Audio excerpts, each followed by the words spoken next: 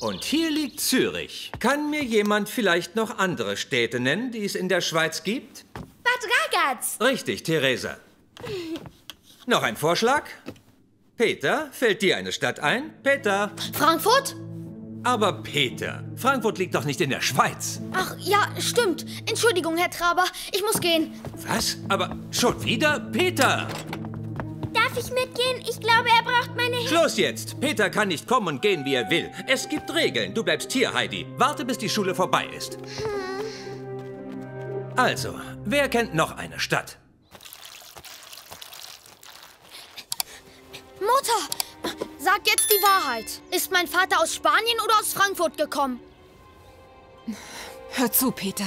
Jetzt sag schon, antworte mir endlich. Nicht in diesem Ton. Und warum bist du nicht in der Schule? Na gut, ich hab verstanden.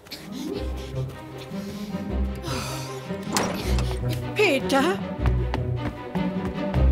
Peter, rede mit mir. Was hast du? Peter! Oh, mein armer Junge. Gut, die Zeit ist um. Denkt an eure Hausaufgaben, Kinder. Habt noch einen schönen Tag.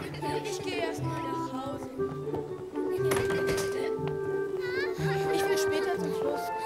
Ich hab Riesenhunger. Ich mache mir Sorgen um Peter. Gehen wir ihn suchen. Da, da ist er. Peter! Peter, Peter! Jetzt warte doch mal. Wo gehst du hin? Ich fahre nach Frankfurt. Jetzt gleich? Allein? Aber Frankfurt ist doch viel zu weit weg. Ich weiß ganz genau, dass meine Mutter mir was verschweigt. Und ich will jetzt die Wahrheit wissen. Das ist kein Grund wegzulaufen. Oh doch, ich werde diesen Anton Wendorf suchen. Warum?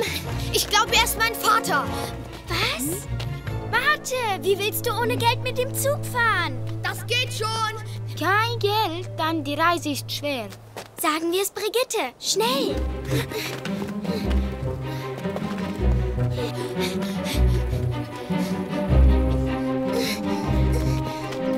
Brigitte!